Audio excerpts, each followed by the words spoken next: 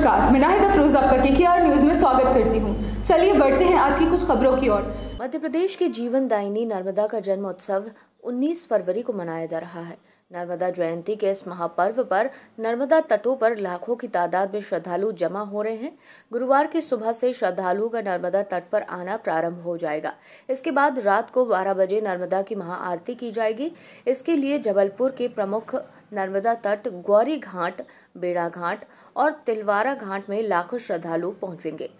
श्रद्धालु आसानी से नर्मदा तट तक पहुँच सकें। इसके लिए जिला प्रशासन और पुलिस ने विशेष व्यवस्थाएँ की है। सड़क पर यातायात को भी डाइवर्ट किया गया है और भारी वाहनों के प्रवेश पर रोक लगा दी गई है। नर्मदा तटों तक वाहन नहीं जा सकेंगे और वाहनों के लिए अलग से पार्किंग व्यवस्था कर दी गई है। हर बार की तरह इस बार भी श्रद्धालु पैदल ही नर्मदा तटों तक जा रहे हैं। इस दौरान नर्मदा में नाव का संचालन पूरी तरह से प्रतिबंधित कर दिया गया है।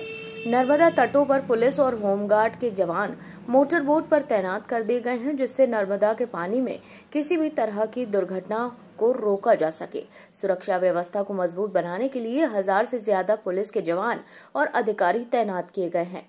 आमतौर पर नर्मदा जयंती पर लगभग पाँच लाख श्रद्धालु नर्मदा तटों पर जमा होते हैं। जबलपुर खान की रिपोर्ट। ये थे अभी तक की कुछ खबरें हमारे साथ बने रहने के लिए हमारे चैनल को लाइक, शेयर और सब्सक्राइब करना ना भूलें।